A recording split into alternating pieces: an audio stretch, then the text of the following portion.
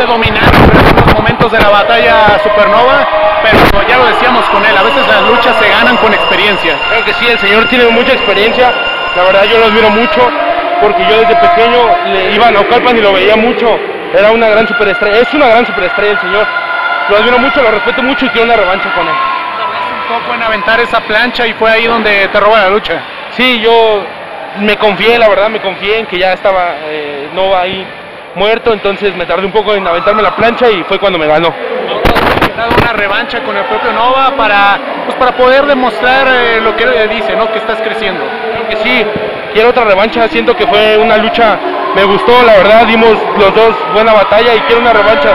Se lo propuse y espero, y creo que lo aceptó, entonces espero que se dé otra vez esta revancha aquí en Lucha Libre Real.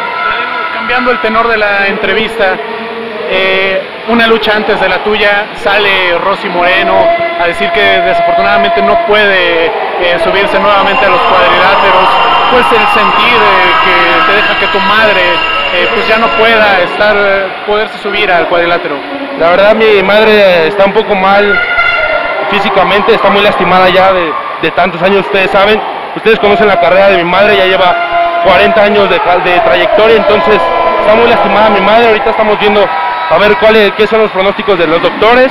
Entonces, no sabemos todavía, no, yo no voy a dar un, comunicado que la verdad yo no sé, solamente mi madre lo sabe y nos lo va a hacer llegar a nosotros, así se lo vamos a hacer llegar nosotros a ustedes. Si es necesario el retiro de tu madre, ¿te gustaría estar con ella en una lucha haciendo pareja mixta? Sí, me encantaría, me encantaría que esa lucha se diera, si es que mi madre se llega a retirar, me gustaría que se diera esa lucha contra la dinastía que sea, contra la pareja mixta que sea, pero me gustaría estar con mi madre y mi hermano, también me encantaría que estuviéramos los tres juntos. Gracias. Gracias.